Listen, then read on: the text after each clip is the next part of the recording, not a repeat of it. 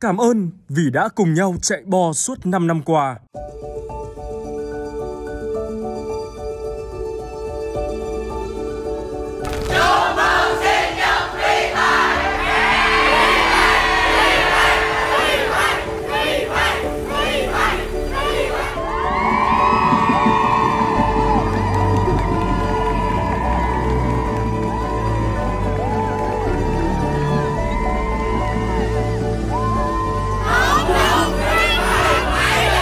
Cảm ơn vì đã cùng nhau trải qua thật nhiều cung bậc cảm xúc, thật booyah.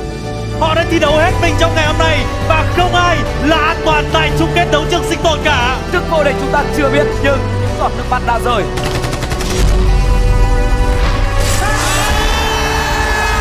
Và nhà vô địch của đấu trường sinh tồn mùa đông 2020 của chúng ta đó là AV. Những giọt nước mắt đã rơi quá sớm nhưng giờ đây đó sẽ là những giọt nước mắt hạnh phúc của AV.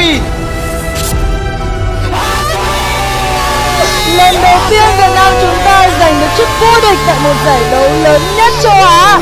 Chức vô địch giải quốc tế đầu tiên chính thống của Việt Nam. Đêm này là một đêm không ngủ dành cho Free Fire Việt Nam.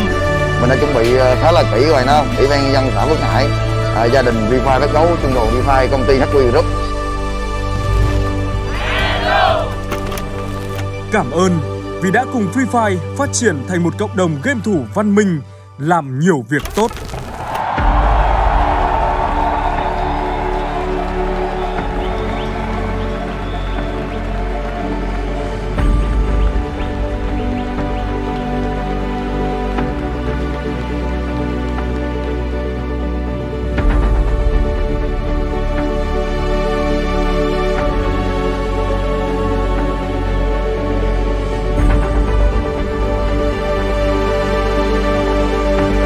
Ơn vì luôn chiến đấu thật phong cách.